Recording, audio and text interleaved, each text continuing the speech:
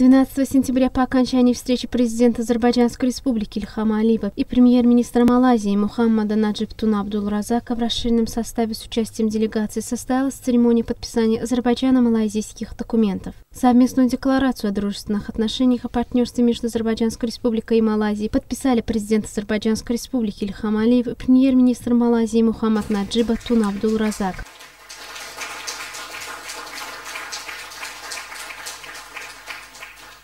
Меморандум взаимопонимания о сотрудничестве в нефтяном и газовом секторе между государственной нефтяной компанией Азербайджанской республики и компанией Petroleum National Berhad Малайзии подписали президент государственной нефтяной компании Азербайджанской республики Ровнак Абдуллаев и президент и генеральный исполнительный директор компании Petroleum National Berhad Тансри Дато Шамсул Асхар Аббас. Меморандум взаимопонимания о сотрудничестве в области обучения дипломатов между правительством Азербайджанской республики, представленным университетом АДА Министерства иностранных дел и правительством Малайзии представлена Институтом дипломатии внешних связей Министерства иностранных дел, подписали заместитель министра иностранных дел Азербайджана и ректор университета АДА Хафиз Пашаев и генеральный директор Института дипломатии внешних связей Министерства иностранных дел Малайзии Тато Хусин Наян.